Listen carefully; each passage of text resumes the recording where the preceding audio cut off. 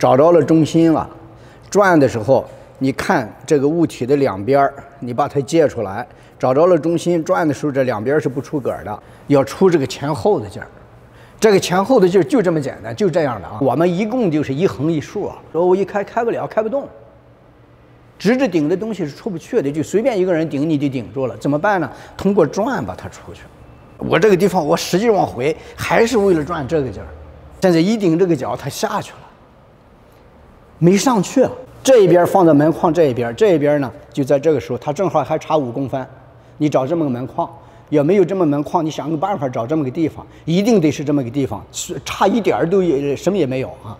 它这一边顶住了之后，这边有个缝，这么样，你怎么样这么推它，它劲儿不够大，对方不怕。但是你要是这么顶开了，就这么顶开。你要是这样的话，往下蹬，它那个劲儿到不了头上去。我要这样的话，它也到不了。我怎么使劲，它也起不来。我们正常的人，他到了这儿的时候，他是这么做的。大家看到了吧？你们看练的都是这么练的。现在怎么样？一到了这儿来，我练的是这一点。你看，